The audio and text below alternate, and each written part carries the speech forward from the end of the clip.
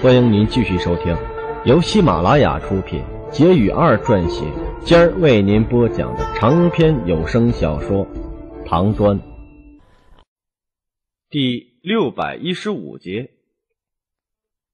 云叶轻描淡写的一句话，让四位管家都愣住了，相互对视一眼之后，老姜拱拱手说：“侯爷，去掉咱家家徽不难。”这老奴回去以后就能做，可是关门就难了。咱家的铺子很多，雨花街上的三成铺子就是咱们五家的，这卖的都是稀罕的南北杂货，以及呃西边传过来的檀香。最近又多了香料，这如果全部关门，那条大街就没人了。云烨倒吸了一口凉气，岳州城是他自己设计的。雨花街是个什么位置？他太清楚不过了。就是这条街把内城和外城隔成了两个世界。内城区都是勋贵和豪商们的住所，皇帝的行宫也在独龙山底下。从雨花街朝东穿过去，就是岳阳楼的所在地了。往西就是承运门码头，岳州刺史的治所就在雨花街上。过一条街就是长乐山军营。军营旁边呢，就是越州府库。如果按照地段来算，绝对是越州城的精华所在。自己当初匆匆忙忙的离开越州，对这些小事啊并不在意。管家的账簿也总是由新月审核。对星月来说呀，那只要有大量的盈利就成了。至于别的事情，都是云叶该考虑的。自己想到了武家人的店铺规模一定不小，绝对没有想到。他们能占据半条雨花街呀！要知道这条街足足有三里长，这还怎么关门啊？只要关了门，李二看到萧条的街市，不怀疑才出轨了。更何况现在已经有人在替李二收集情报了。雨花街的情况，他不可能不知道。云叶现在唯一的祈求就是武家的店铺啊，不是雨花街最大的。街上最大的商家是谁家的？不会是我们几家的吧？云烨抱着一丝侥幸，匆匆的问老姜：“啊，不是，咱家的买卖在岳州也是数得上的，但是最大的一家绝对不是咱们。奇怪的是，呃，老奴等人不管如何打探，也没有弄清楚，呃，楚恒顺号的东家是谁。起了两次纠纷了，咱们并没有占到便宜，甚至还吃了一点小亏。”还有一家太和号，老奴发现似乎与魏王府有纠葛。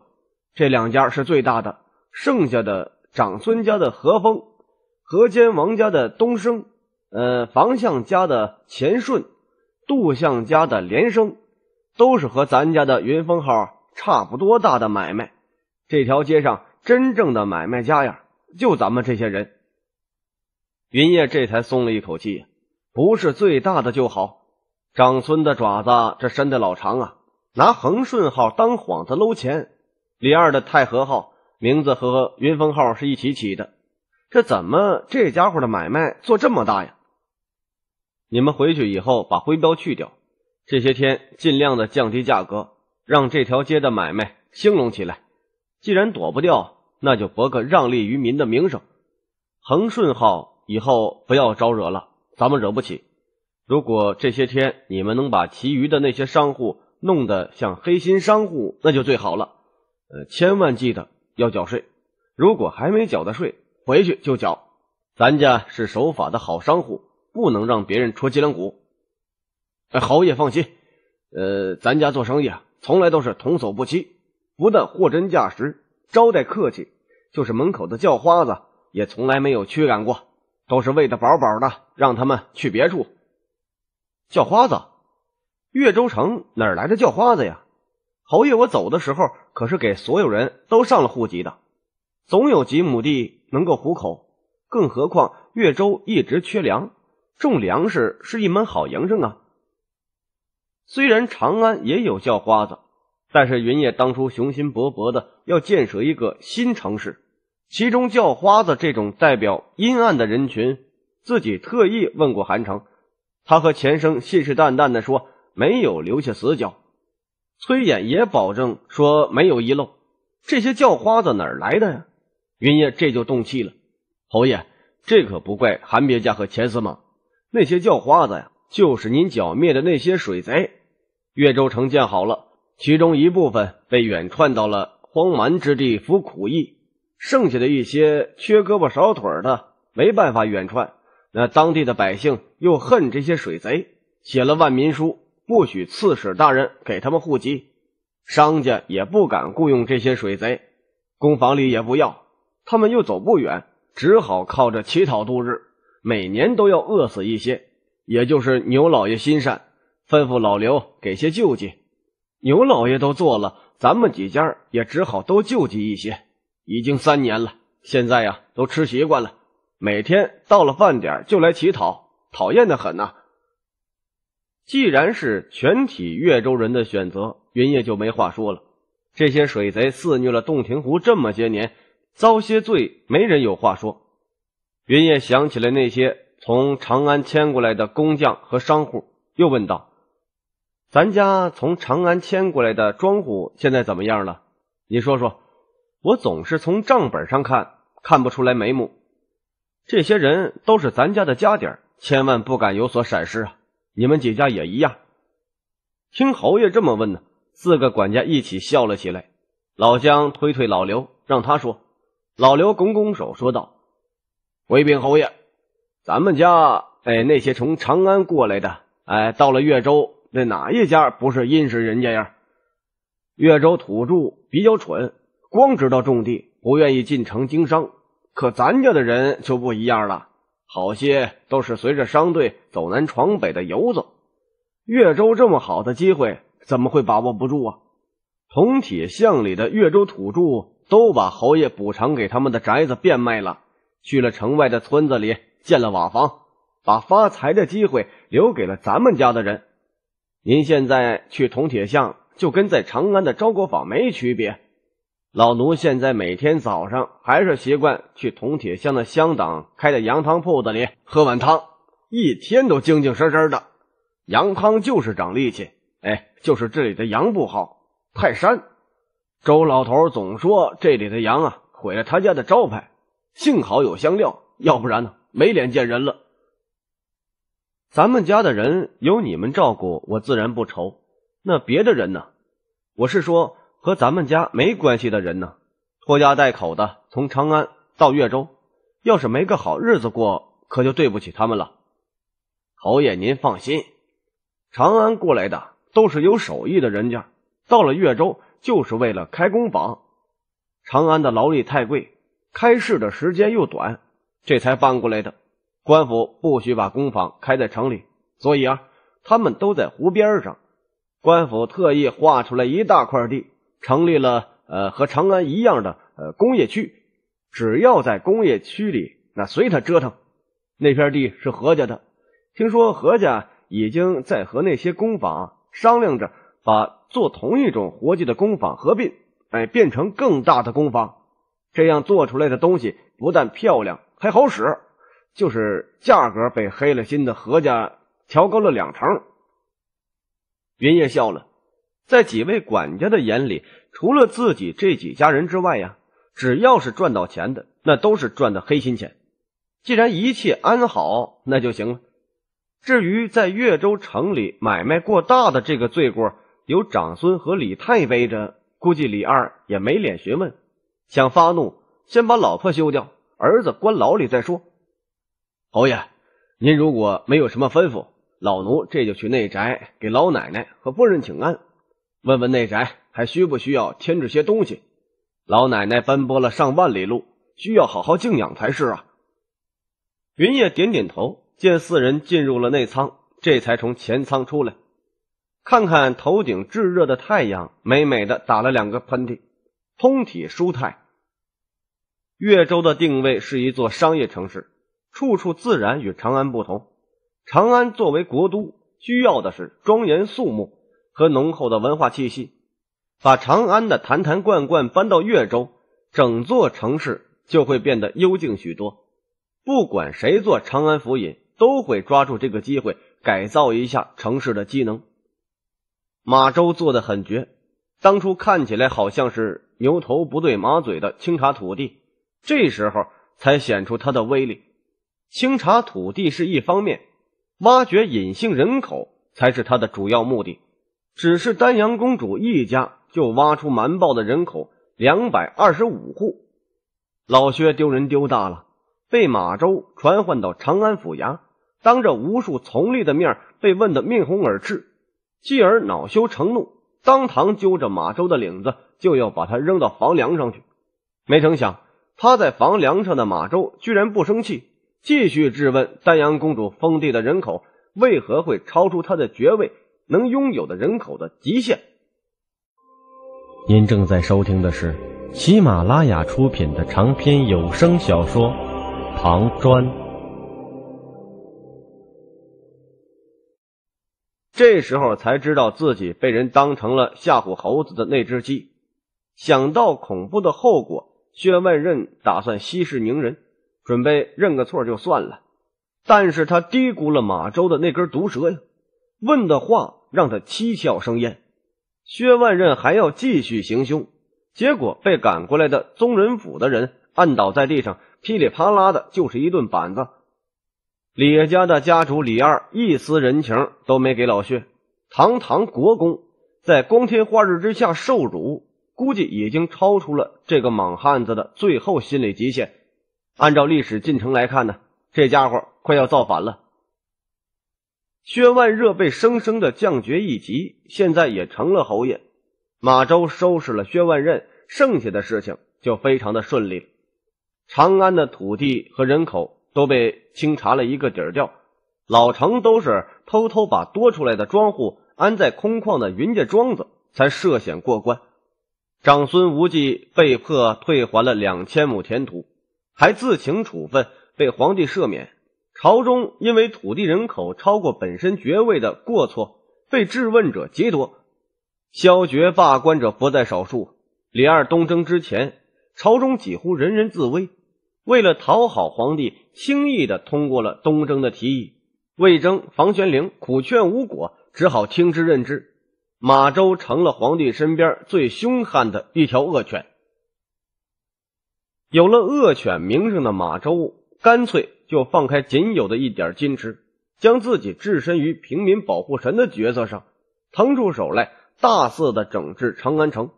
久居草原的马周很清楚。西域胡商对长安的重要性，特意在西市划定了胡商贸易区，让胡人在长安有了一片可以自由贸易的区域，不再受那些勋贵的压制。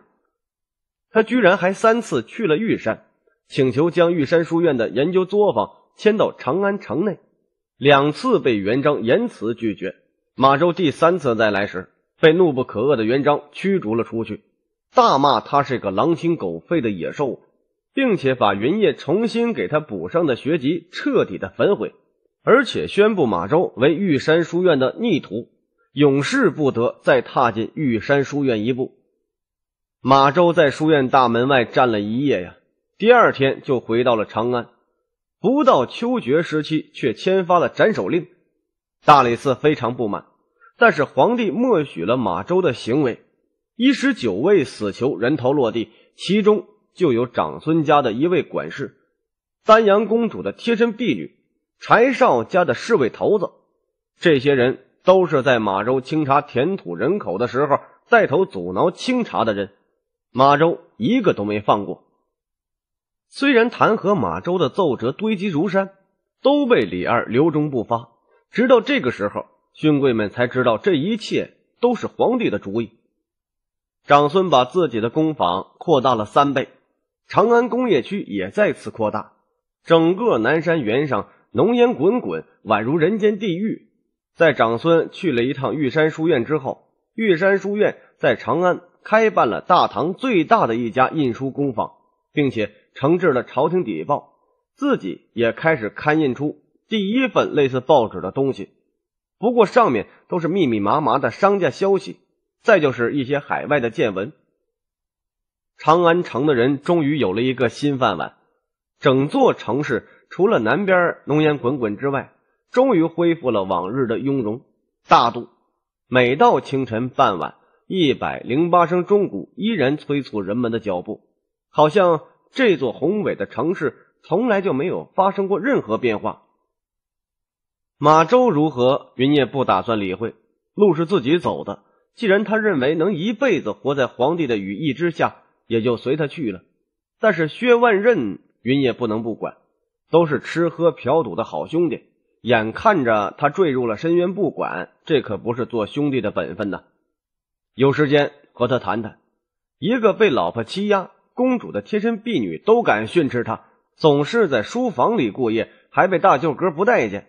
老婆犯了错都要安在他的头上，打板子训斥是毫不留情。老婆偷人的时候，堂堂武安县公亲自去抓奸，抓到了，去大舅哥那里告状，却被大舅哥训斥了一顿，最后只好把奸夫找了一个坑埋了了事。这如何能让出身敦煌世家将门的薛万仞咽得下这口气呀？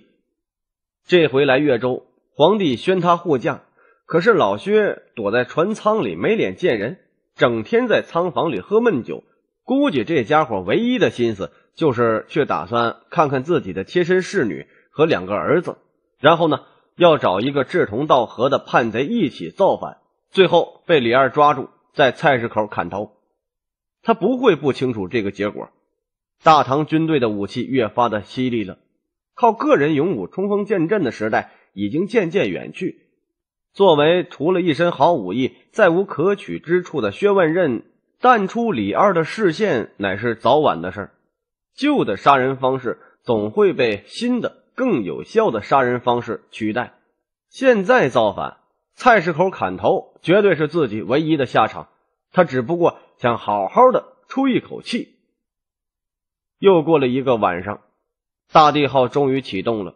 今日的风很大，大地号又张了满帆，只有公主号和青雀号能勉强跟上，剩下的船只，包括以速度著称的蒙冲啊，都被远远的甩在后面。云烨看到了站在高坡上拿着望远镜往船上看的长孙冲，这家伙总是把自己打扮的非常醒目。骑在马上，大红色的披风随风浮动，一杆马槊挂在鸟翅环上，不管谁看了都会知道这是一员悍将。云烨在望远镜里看到这家伙正在看自己，于是腾出右手，把中指竖起来，朝他比划了一下。很快的，云烨在望远镜里也看到了他伸出来的中指。还好，这家伙呀还没有变傻。不过他老子也拿着望远镜。在看他，李二的船在江面上窜动，两岸的黑甲骑兵拉成了两道蜿蜒的黑龙，跟着大地号往大江的上游奔驰。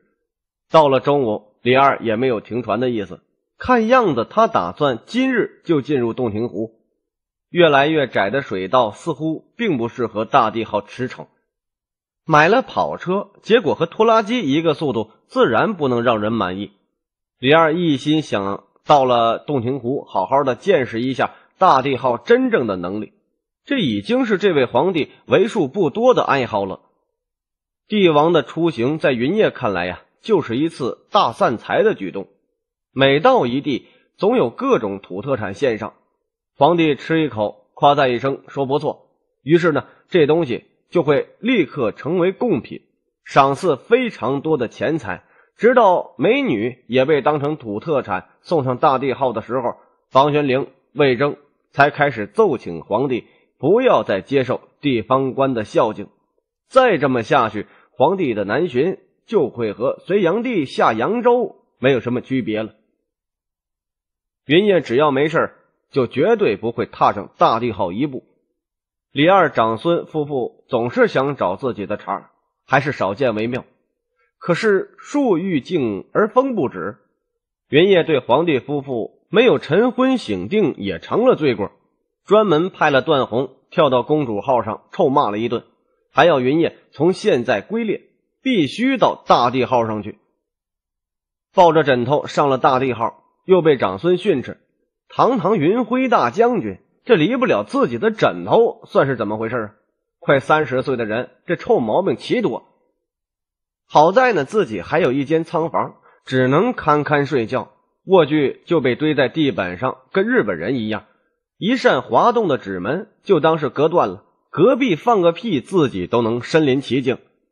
堂堂的侯爷睡校尉的卧舱很丢人，但是看到张亮也只能睡在剑桥上，云烨就满意的多了。船上的贵人多，自己这个侯爵在这里确实比王八大不了多少。也不知道李家哪来的那么些个亲戚，好些个老头子，云逸从来都没见过。拜见了一圈的李公，嗯，还是分不清谁是谁。各位听众朋友们，本集已播讲完毕，感谢您的收听。